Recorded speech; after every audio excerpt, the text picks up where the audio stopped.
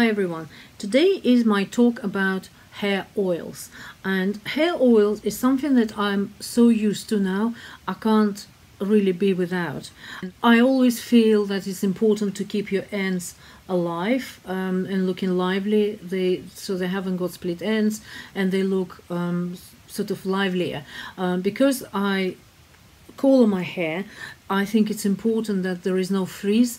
The the the, the ends look shiny and um, sort of fresh. So um, for me, it's important to use it. I use it every day um, after hair wash. Well, every other day I wash my hair, and um, I still even just as I wake up in the morning and I want to have a little bit more uh, like sleekness in in my hair. I think that's the word.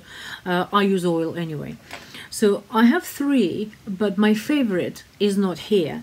Um, I, my favorite one, I, I show you at the end. Um, I show you the picture and I tell you why. So I've got three. One of them is Alpha Alfaparf uh, brand, which is a lovely oil. It's a beautiful. Um, it makes it very makes hair very sleek and shiny and it, it's just natural like like silk. It's really lovely. Um, price wise for 50 mils i think it's around 20 pounds. So it's quite dear. It's not um, it's not a big bottle. It's 50 but it lasts long. It's it's oil. So one pump is enough for uh, one or two pumps enough for uh, my entire head. Um, so I don't you don't put it on roots obviously. It's it's only it's only for ends. Um, the other one I have is most recent um, from Organi, Arganicare. I bought it in TK Maxx. I was placing an order and I needed to put something else for free delivery. So I thought I'm gonna have a look at never never too many hair oils for me. Um, so I bought that. Uh, it's treatment. It's like serum, which is quite thick. Um, it, it's not it's not like oil. It's very oily, obviously. Smells a bit of vanilla. So there's got probably vanilla there. Um, so I uh, quite like it. It's thicker than oil. It's thicker than oil. So you don't need much um, and it goes on ends really well. Uh, one oil which I haven't, I'm not ecstatic about is actually was recommended by Lisa Eldridge um, as one of the products that she's using as um, oil treatment, hair treatment oil. Um, this is living proof, no frizz vanishing oil, and it's it's not it's not oil. It's actually oil oily treatment. So it's more of like a liquid with um, uh, with some something in it.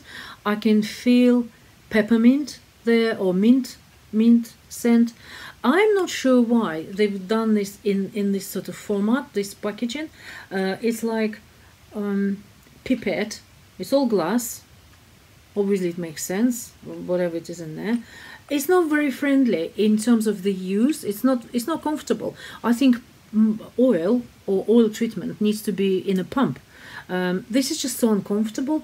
So you have to take this out. You have to. Whereas this stands on the shelf and it's just without taking it off the shelf I, I press it on I pump it and it's on my hands and I'm done. This one you have to fiddle. So you you pull this out it's got pipette with um, oil in it so you have to press it. Um, so you've got that and then it goes onto your hands then you have to put it back in you have to screw it you know so it's not it's not most um, friendly format I would say. Yeah it goes it goes well. It's it, it smells of peppermint. It's got something in it but I'm not entirely sure I I'm in love with that. So I will not be repurchasing this. Uh, it cost 26 pounds. It costs 20 I think 26 pounds for 50 mils. So it's quite dear as well. Uh, they are the one I love, which seem to be all expensive, but it's actually not when you think of the volume. For 200 mils, you can buy it on Amazon for 49.50. 200 mils will last you more than a year. It's it's a good. No, my normal ones is 100 mils, and it's it's like a flat bottle. I just put picture in my screenshot.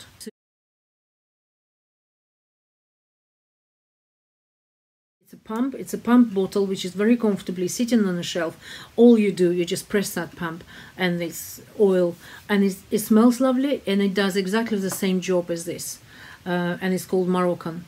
uh, As this oil, it's Moroccanoil. So this is all about oils. Um, I don't know why I felt compelled to do this about oils. I just I am obsessed with them. I I don't go without oils now. I've been for for many years i've been using uh, oils and i find um, i find it beneficial for your hair. Um, i just want to say that i'm frustrated that i trust uh, lisa eldridge with all her advice and you know she's she's lovely and and I, I think she's very sensible. She she does very good tutorials um, and obviously her brand is is quite famous. Um, though i'm not i'm not sure about her lipsticks. I haven't found anything there that will suit me. I think it's all done for brunettes or darker skins. Or she's not darker skinned actually. Um, but she's brunette. So i feel like there is no uh, option there is no range for blondes so don't know. But this one uh, i listened to her and i thought oh if she's using it and she's happy so i would be. Uh, it does a job it does a job but it just doesn't doesn't feel comfortable it doesn't feel like i love this product. And um, it just even the texture itself it's more of like something is like something squeaky there. Uh, it's not exactly what i wanted for like hair oil treatment so there we go. This is my opinion, and um, I wonder what is your experience with these oils. I see you later. Bye.